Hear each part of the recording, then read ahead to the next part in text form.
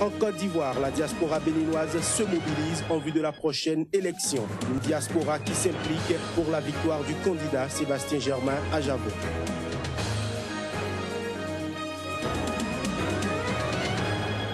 Enfin, au Sénégal, après les deux jours de plaidoirie de la partie civile, la défense a commencé la sienne. On fera le point en fin d'édition avec Cheikh Berthet, notre correspondant au Sénégal.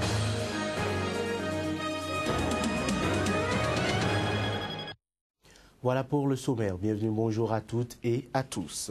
En République démocratique du Congo, la Commission électorale nationale indépendante CENI a publié ce mercredi le calendrier de l'élection des gouverneurs et vice-gouverneurs de 21 nouvelles provinces prévues pour le 26 mars 2016. Selon la CENI, cette procédure répond à l'arrêt de la Cour constitutionnelle qui stipule que les élections des gouverneurs doivent être organisées avant les élections provinciales. Reportage Yayet Mavinga Nzao. L'organisation des élections de gouverneurs et vice-gouverneurs de nouvelles provinces passera avant toutes sortes de scrutins en République démocratique du Congo. Cette annonce est faite par le rapporteur adjoint de la Commission électorale nationale indépendante, Onésime Koukatala Falash.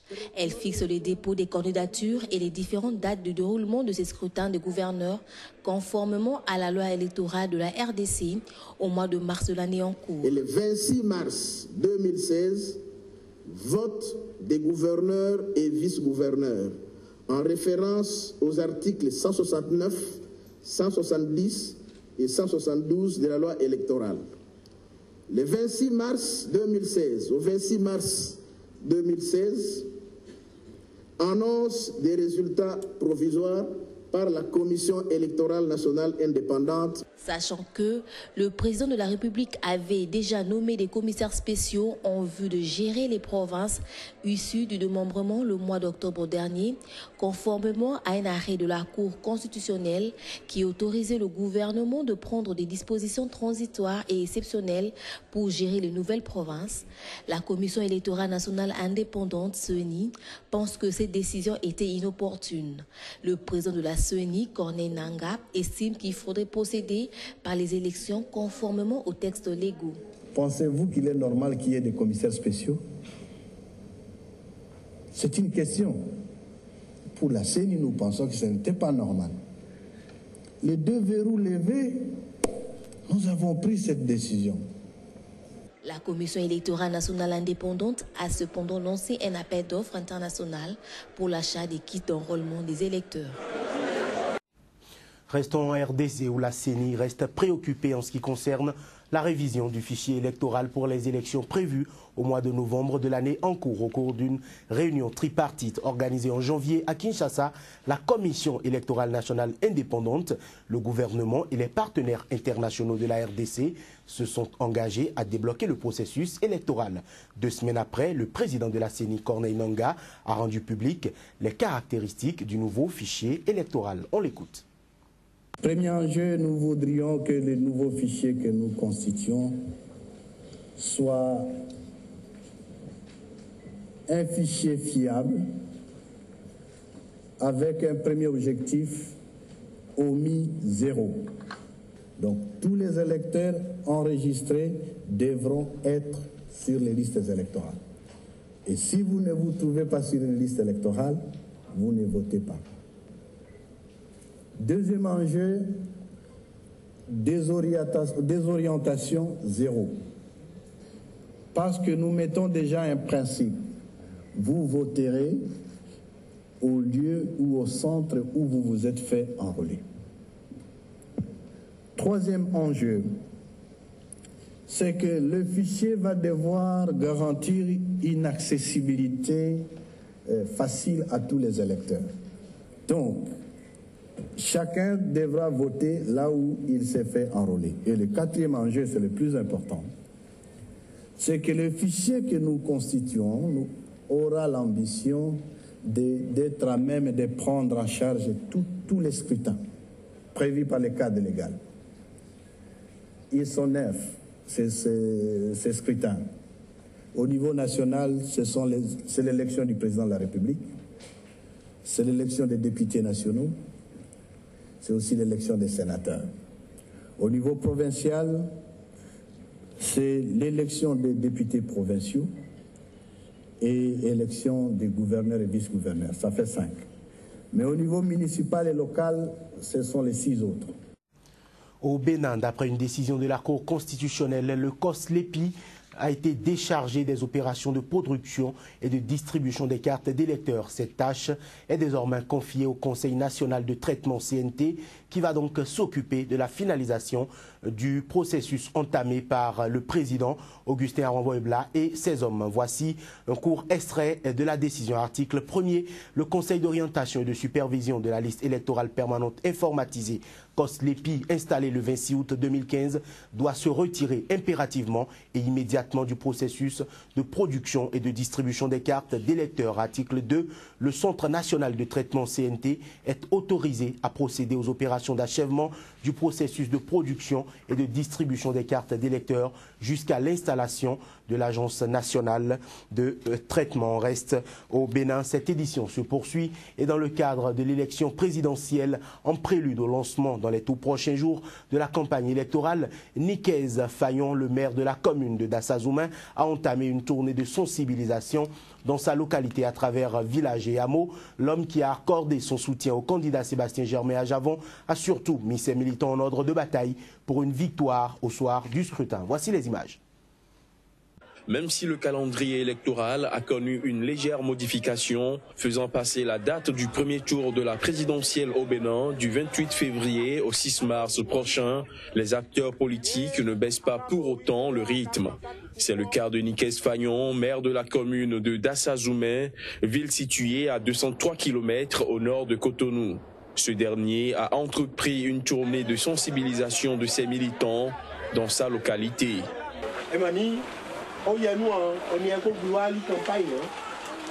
Il était question lors de cette tournée de mettre les militants en ordre de bataille autour du candidat Sébastien Ajavon, mais aussi de les sensibiliser à sortir massivement pour retirer leur carte d'électeur afin de pouvoir accomplir le vote. Nous avons gagné les élections ici depuis 2006. Nous avons gagné les élections. Donc c'est un terrain, un territoire électoral que nous maîtrisons et pour lequel nous travaillons tous les jours, des jours comme de nuit. Justement, on rage, touche les couches socio-professionnelles et en même temps, nous mettons en ordre de bataille les militants avec la constitution des cellules de base. C'est en terrain conquis que Niquez Fagnon est retourné chez lui en attendant de chausser les pointes pour le sprint final qui sera lancé avec l'ouverture de la campagne électorale. Encore du soutien pour le candidat Sébastien Germain à Javon dans le cadre de la présidentielle de 2016. À l'instar de beaucoup d'autres mouvements, les militants du MJCA, entendez, mouvement des jeunes conscients de la commune d'Adiara, lui ont aussi apporté leur soutien. C'était à la faveur d'un meeting. Reportage.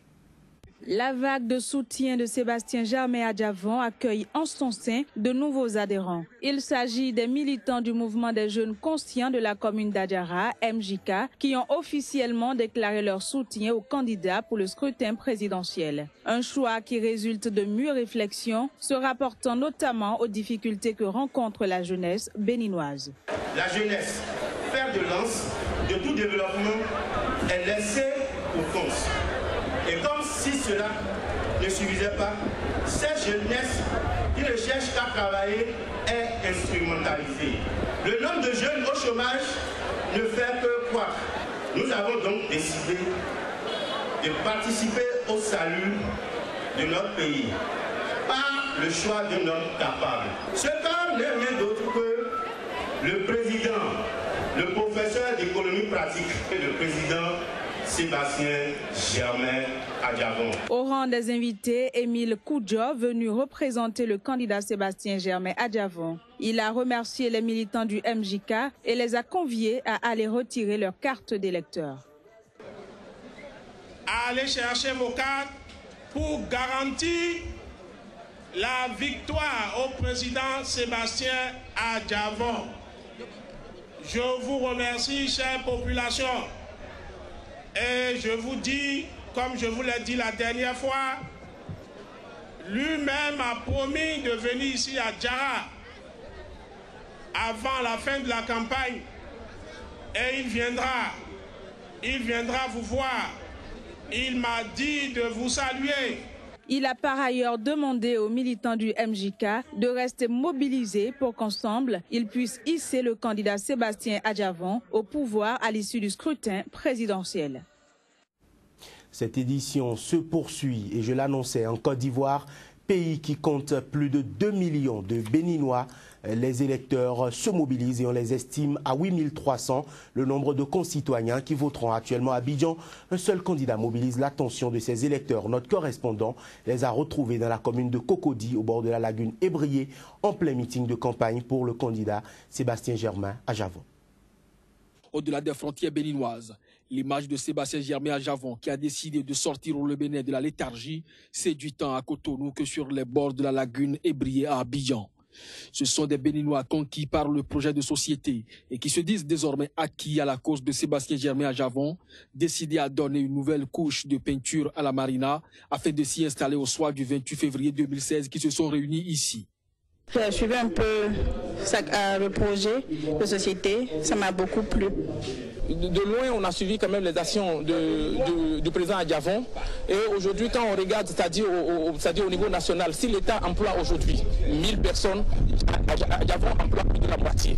Convaincu de l'adhésion totale de la diaspora béninoise, Damien Zissou n'avait pas besoin d'assez de mots pour conforter cette logique et confirmer les ambitions que nourrit le candidat pour son peuple. Aujourd'hui, l'enjeu est crucial. Il faut rompre avec la l'anarchie rompons avec ce système de gestion à la nation. Allons avec le candidat humble qui connaît les choses de la nation, qui connaît le vrai béninois, qui a envie d'avancer avec le vrai béninois et qui a envie d'impulser une nouvelle synergie pour le Bénin. Venu des quatre coins de la Côte d'Ivoire, certains se souviennent que le slogan de l'actuel président de la République ivoirienne était Réussir ensemble. Avec Ajavon, c'est réussissons tous ensemble. Autant de similitudes qui, pour certains, augurent d'une victoire prochaine. Ils ont décidé d'écrire leur part de l'histoire de ce Bénin nouveau en décidant d'investir dans les jours à venir, dans les contrées et hameaux pour donner leur suffrage à Sébastien Ajavon. Rendons-nous à présent au Sénégal. Après deux jours de plaidoirie de la partie civile suivie du parquet, la défense a commencé ce jeudi matin sa plaidoirie. Cette plaidoirie qui a duré deux jours durant lesquels les avocats commis d'office par la Cour à l'ex-président vont essayer de défendre au mieux Hissène Abré. On fait le point avec notre correspondant au Sénégal, cher Berthe. Devant les chambres africaines extraordinaires, la défense de Hissène Abré s'est vertuée à répliquer aux accusations du parquet et de la partie civile. Ils plaident non coupables et axent leur plaidoirie à démontrer l'incrédibilité des témoins à charge. Aucun témoin n'est crédible dans cette affaire. Aucun. Et c'est la raison pour laquelle nous avons toujours fustigé le fait que l'enquête ait été faite simplement à charge. Aucune instruction à décharge. Mais ce qui s'est passé à l'audience est révélateur. Et nous allons démontrer l'innocence du président. Pour ce faire, il évoque des contradictions, mais aussi des discordances notées dans la déclaration des victimes et témoins lors de l'audience entachent leur crédibilité. La défense entend coûte que coûte détruire l'accusation qu'il dénonce également d'avoir fondé ses poursuites sur des déclarations des prétendus. Mais pour François Serre, avocat de Hissène Abré, ses collègues commis par la Cour sont des avocats de connivence que la désignation des avocats d'office n'avait qu'un objectif, de combattre la défense du président Abré, mais non pas de faire en sorte que ce procès puisse être légitime et légal. Point par point, la défense entend répondre aux accusations soulevées contre Hissène Abré. Elle a également adressé à la Cour que le rapport de la commission rogatoire, qui selon eux est la pierre angulaire du procès, est un rapport truqué ce sera donc tout pour cette édition. Merci de nous avoir suivis. Très bonne journée à chacun et à tous.